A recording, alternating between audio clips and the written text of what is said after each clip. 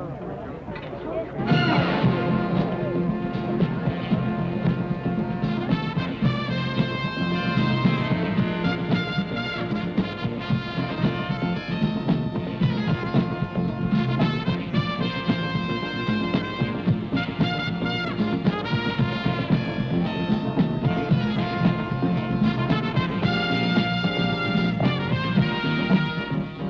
Great as were their concerns and their efforts over the form and conduct of the Masters tournament, there was one thing Bob Jones and Cliff Roberts never worried about come each springtime in Augusta, Georgia. That was the quality of golfing spectacle the tournament would offer its attending patrons, and in more recent years, the massive audiences who watch it on television.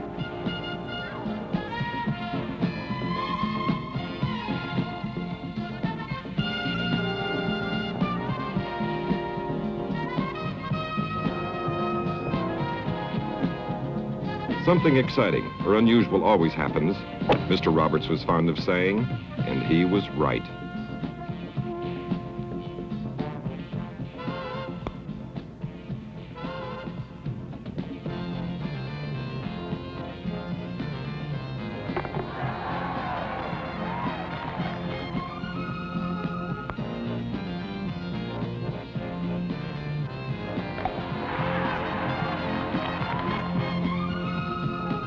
In all its 42 years, the Masters has never failed at some point or in some way to make the pulses race and the vocal cords work overtime.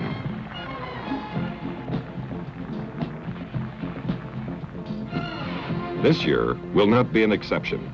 As a flirtatious breeze softened and died into idyllic weather after the first day, the red numerals that indicate under par scores increasingly dominated Augusta National's giant leaderboards. After two rounds, all 53 players who survived the cutoff from the starting field of 78 lay within 10 shots of the joint leaders Lee Trevino and Rod Funseth.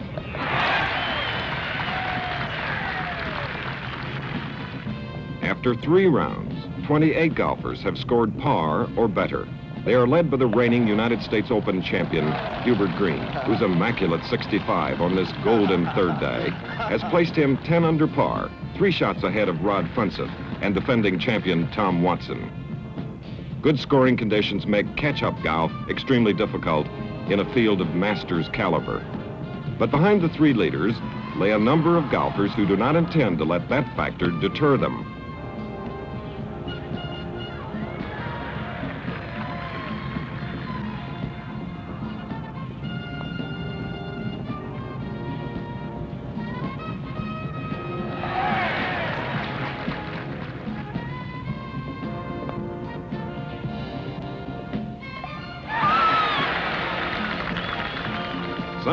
The final round. Seven shots back among those trailing is the man from South Africa, Gary Player. Coming into this Masters, Player in 25 years of tournament golf has amassed 111 victories around the world. It's now nearly four years, however, since Gary has won in the United States. Newspaper comments about a fading star have got his dander up. At 42, with victories in recent months in the World Cup and the South African Open, his 11th, and the competitive fires flaming fierce as ever within that small frame, Gary does not see it that way at all. As always, the Masters brings together the finest golfers from all over the world.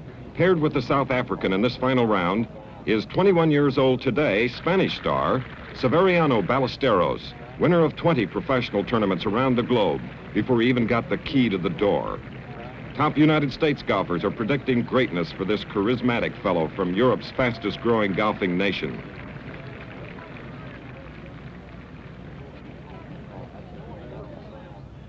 Gary's 30 feet beyond the hole here at number four. With the birdie on the second, he's still six shots behind leader Hubert Green.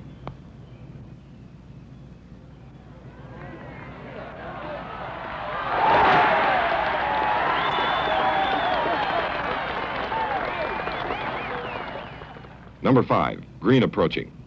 Hubert has a record and reputation as a strong front runner. He's three putted the first green from 60 feet. but birdied the second hole off a fine bunker shot to get back to 10 under. Too strong, bunkered.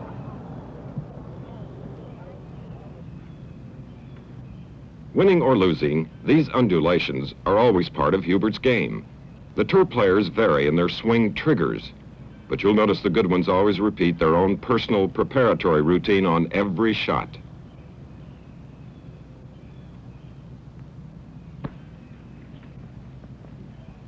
Hubert's an excellent sand player.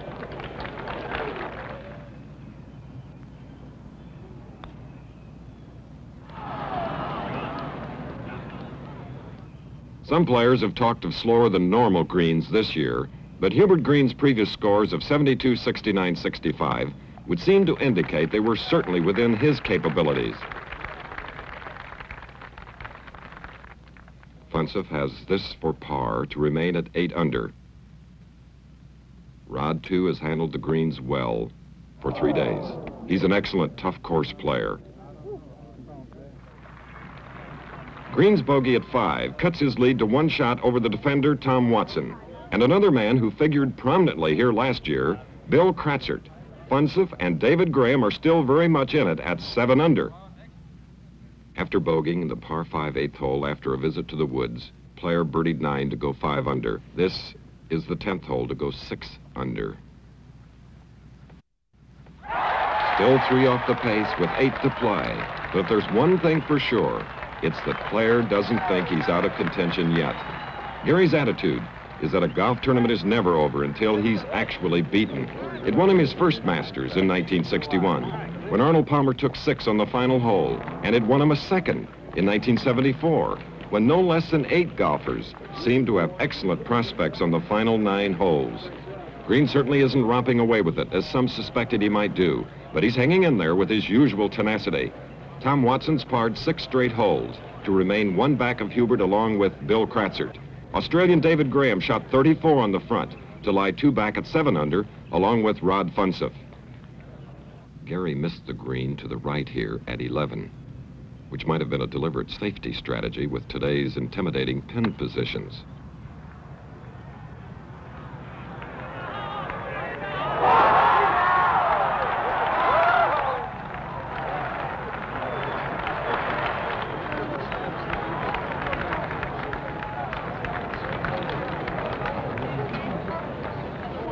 Well, it may be a cliche that golf is a game of inches, but it's also the truth, and a harsh one at times.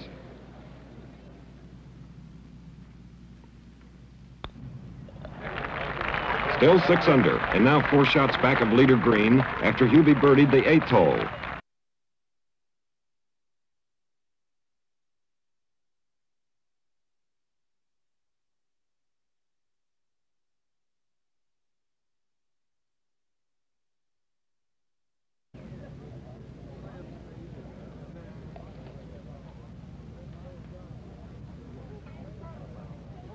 A number of players have said that 14 is the fastest green on the golf course this week.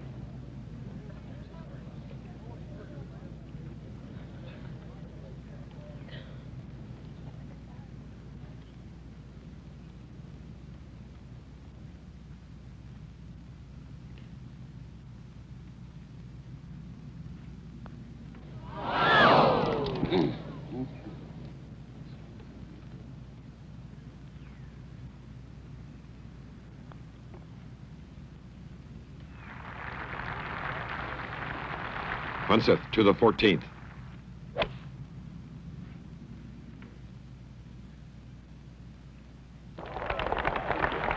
Thirty feet and downhill all the way. Green with almost the same shot.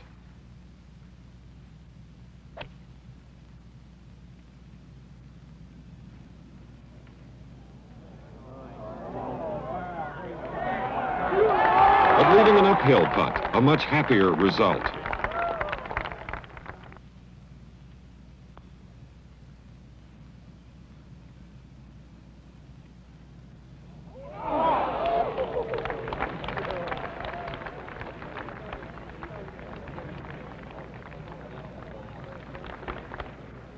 This for 11 under. this to regain sole possession of the lead.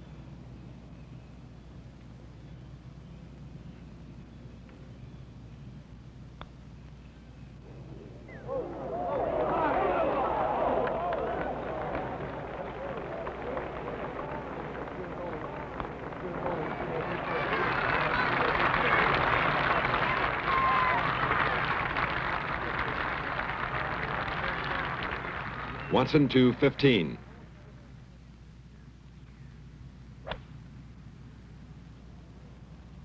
Oh, this looks like a marvelous shot.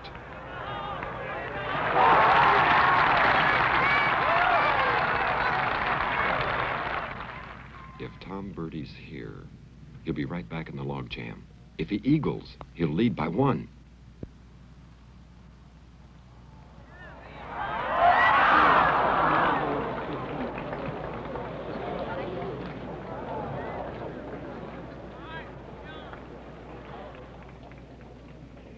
That takes Tom back to 10 under. Green with four to play is also 10 under. Funseth, also with four to play, is 9 under. And Gary Player is 10 under with one hole to play.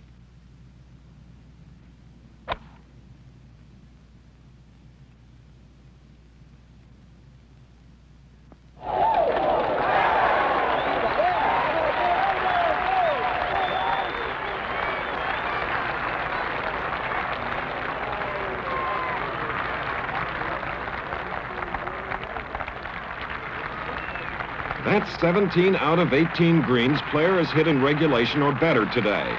The Masters 18-hole record is 64, and the back nine record is 30.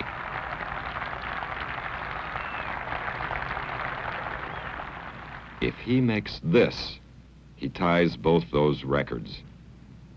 Gary is 15 feet from the hole.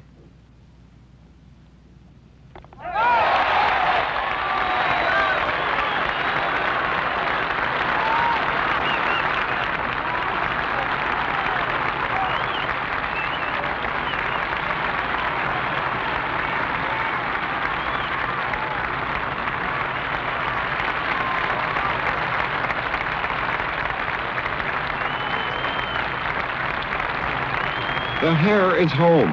Now for the hounds.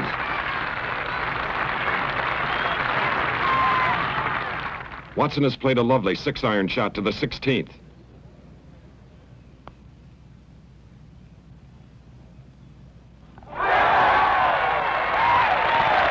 Eleven under, tied with player. Two holes to go. Green to the 15th, and a must shot, if there ever was one.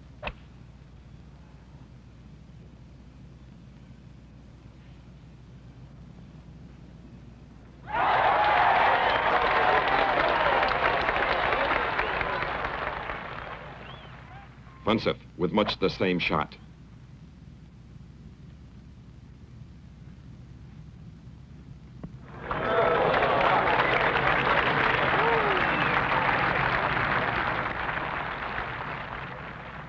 Both players heard that mighty roar for Gary's 18th hole birdie. They both know exactly what they have to do.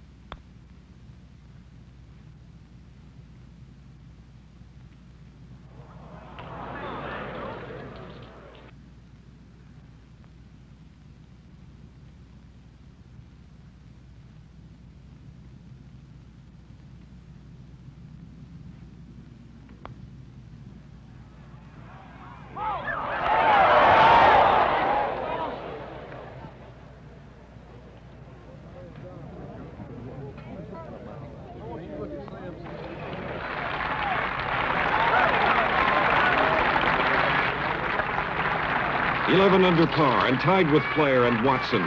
Three holes to go. Rod needs this to go 10 under to have a fighting chance.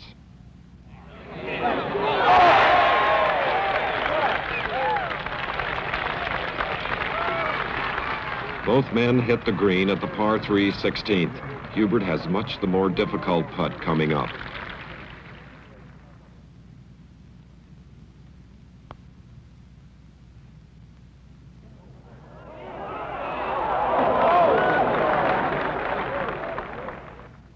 From about 10 feet. try again.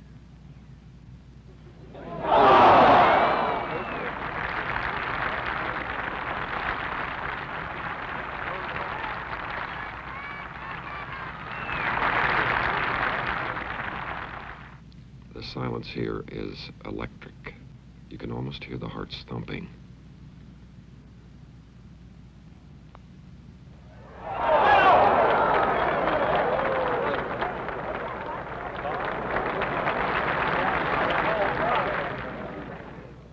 Watson at 17 and tied with Player. A birdie at this moment one year ago won him the Masters.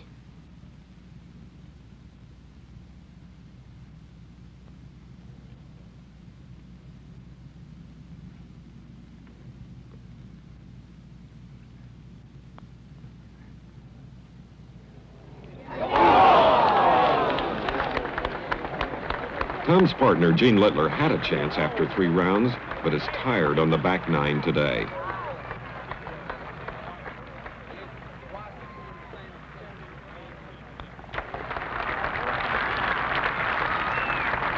If Tom pars 18, he and Gary will begin the playoff on number one. Green and Funseth now each need a birdie in their last two holes to make it a foursome. Tom hit a four-wood from the tee to be short of the fairway bunker, but he's hooked it badly into the trees and the crowd. He has a long and difficult shot to get anywhere near the hole.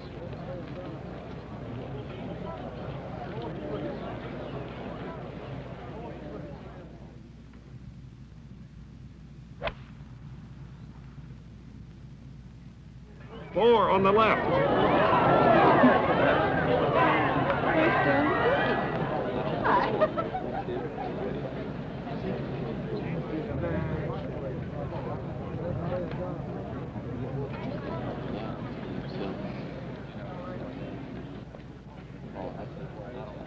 Ask the Masters field for the toughest spot to get up and down in and two from around the 18th green. And this would probably be the area they would nominate.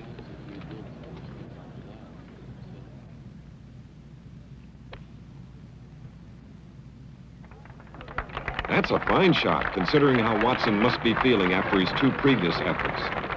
He putted the ball, incidentally, the British style, bump and run shot.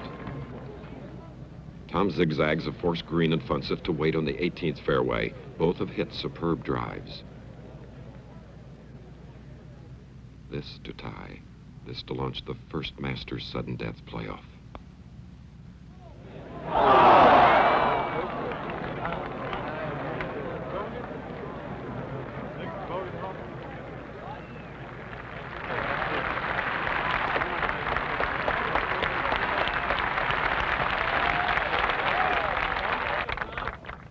Green must birdie to tie. He's hitting an eight iron.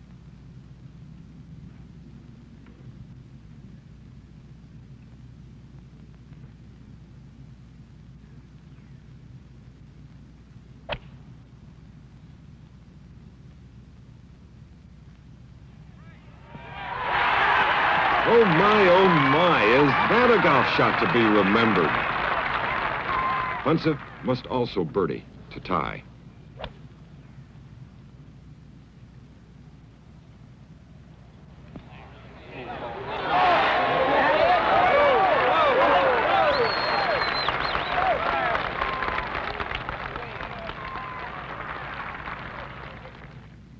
This to tie from exactly where Gary made his putt.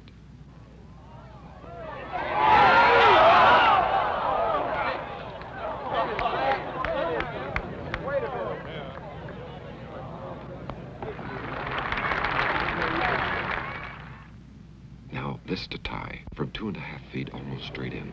Oh dear. Hubert hears something on the tower by the 18th green. From two and one half feet.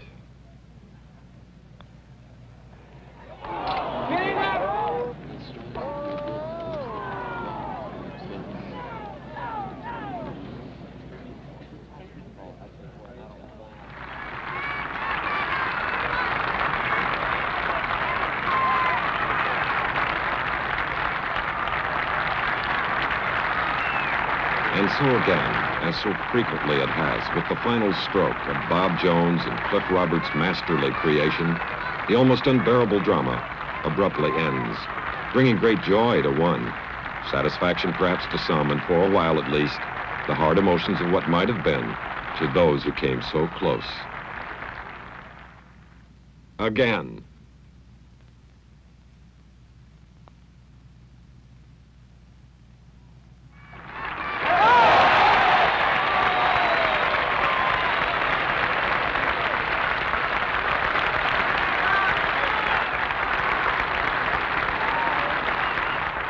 Player, his 21st Masters appearance. Seven shots back at the start of this final day. Seven birdies in the last 10 holes. Nine in the 18. A record-tying 30 on the back and a record-tying 64 for the 18. Nine golfers caught and finally passed. Three Masters titles. Nine major championships. 112 victories around the world. At 42 years, five months, and eight days, the oldest man ever to win at Augusta National. An athlete of athletes, a champion of champions.